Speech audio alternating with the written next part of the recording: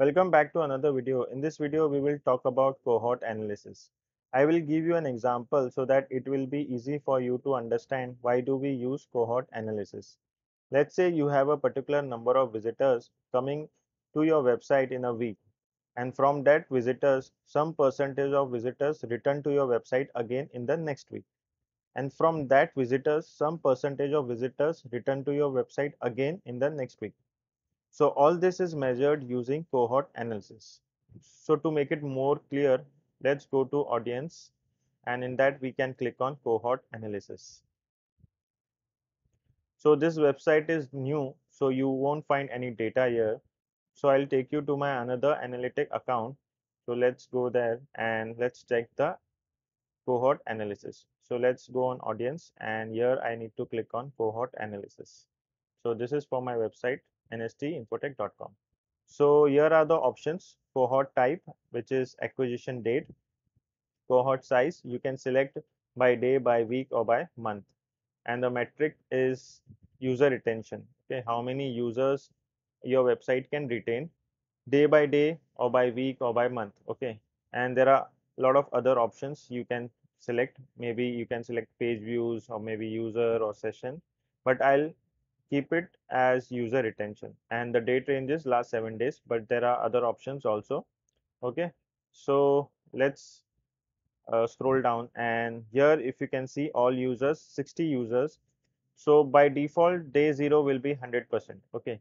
So on may 23rd there were 11 visitors on my website. So day zero will be 100 percent. On the next day the percentage was zero. It means from the 11 users, not even a single user has come back to my website.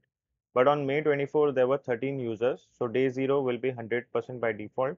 And on day 1, I mean on the next day, from 13 user, 15% of the visitors came back to my website. But on day 2, again, the percentage becomes 0. From this particular user, maybe there were two three users who came back on day one but from that two three users on day two there was no one who visited back to my website.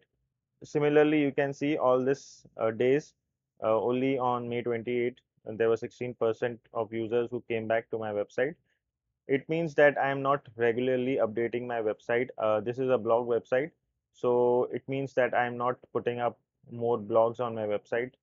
Let's take an example if I have a YouTube channel, I have subscriber who have subscribed to my YouTube channel and if I put a new video, so it will notify to my subscriber and they will return back uh, on my channel to view the video which I have uploaded. Okay.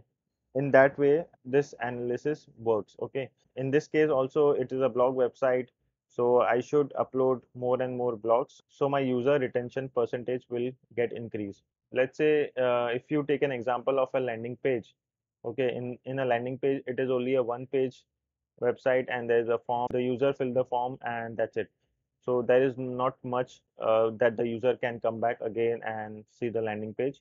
So in that case the cohort analysis uh, doesn't work. You can't analyze a landing page okay? But for a blog website definitely uh, we can use cohort analysis. So in this way you can analyze your uh, matrix okay? And here you can select by week okay? And then you can select by month as well. And user retention you can select page views.